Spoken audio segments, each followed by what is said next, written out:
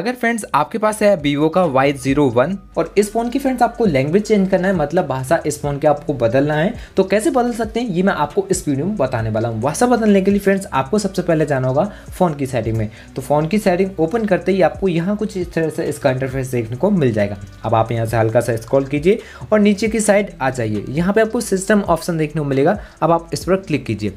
जैसे इस पर क्लिक करते हैं तो आपको देखने को मिल जाता है लैंग्वेज एंड इनपुट अब आपको यहाँ पर क्लिक करना है। इस पर क्लिक करके लैंग्वेज पर क्लिक कीजिए। लैंग्वेज पर क्लिक करके एड ए लैंग्वेज पर क्लिक कर लीजिए।